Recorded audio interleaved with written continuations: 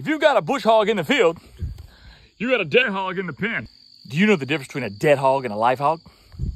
You don't need a top on your trailer to haul them off. You know, I'm starting to think my wife is a vampire.